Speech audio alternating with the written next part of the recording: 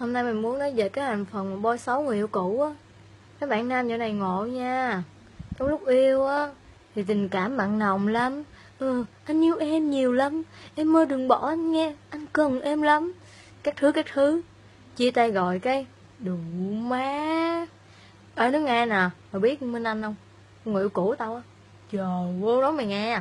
Má ơi Nó lầy lắm. Má chỗ này chảnh chó lắm bơi. Má không biết sao tao quen nó nữa trời mới nghĩ sao tôi quen nó nữa.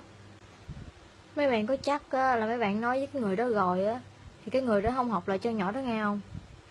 Sao mấy bạn ngu quá gì Mấy bạn làm gì chẳng khác nào mấy bạn tự lý cứt mà chét khuôn mặt của mình á Mấy bạn hiểu không?